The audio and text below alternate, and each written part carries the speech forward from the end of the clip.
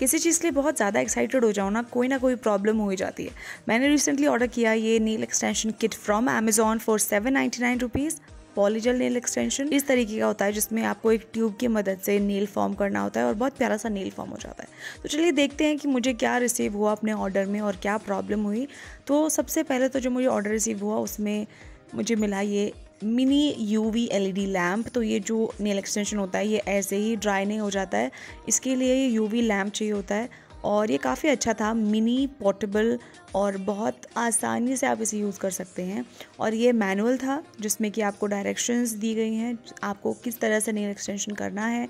और हमें मिलता है ये नेल फॉर्म जिससे हम नेल को शेप करेंगे। ये फाइलर मिला है और ये टूल मिला है, जिसमें स्पैचुला भी है और नेल ब्रश भी है। साथ ही ये क्लिप मिले हैं, जिससे आप नेल को सिक्योर कर सकते हैं और ये मेन है पॉलीजेल पॉलीजेल से ही आप अपने नेल को बिल्ड करते हैं। इसमें कई कलर ऑप्शंस थे, मैंने क्लियर चूज़ किया, यानी कि ट्रांसपेरेंट ये सब तो बहुत अच्छा था, लेकिन इस ऑर्डर में मिसिंग था स्लिप सोल्यूशन स्लिप सोल्यूशन की मदद से ही हम पॉलीजेल को शेप करते हैं नेल की शेप बनाते हैं वरना वो बहुत स्टिकी हो जाता है। मैं बहुत क्यूरियस थी ये जानने के लिए कि ये सच में वर्क करता है कि नहीं तो फिर मैंने सब्सटीट्यूट ढूंढा इंटरनेट पे।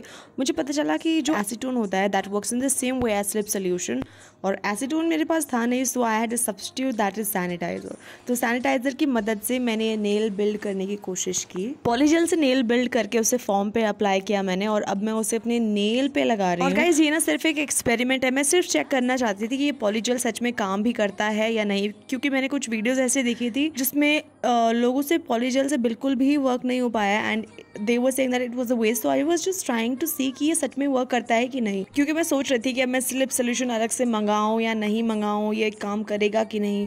तो मैंने डिसाइड किया कि एक बार सैनिटाइज़र से ये ट्राई करके देखते हैं। अगर ये काम कर दिया तो इसमें और इन्वेस्टमेंट करने का कोई मतलब भी बनता है। And to my surprise it worked really well first time में जो मैंने ट्राई किया, ये नेल काफ़ी अच्छे से बिल्ड हो गया and it was sticking really nice to my nail but जो टॉप पार्ट था, वो मैंने बहुत पतला बिल्ड किया था तो मैंने थोड़ा और सैनिटाइज़र और पॉलीजेल लिया और उससे नेल के ऊपर फिर से एक और लेयर क्रिएट कर दी ताकि जो नेल एज है फ्री एज है जो, वो अच्छे से क्रिएट हो जाए। तो इसे अप्लाई करके मैंने फिर से सिक्योर कर दिया।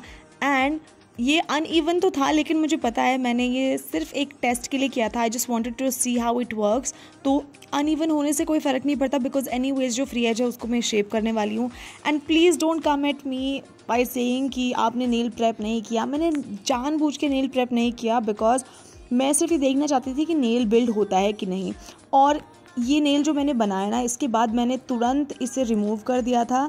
एंड क्योंकि नेल प्रेप नहीं किया तो काफ़ी इजीली रिमूव भी हो गया और उसके बाद मैंने पूरे नेल्स पे अच्छे से प्रेप किया, बहुत अच्छे से प्रेप किया और फिर उसके बाद नेल अप्लाई किया तो वो काफ़ी लंबा टिक भी गया।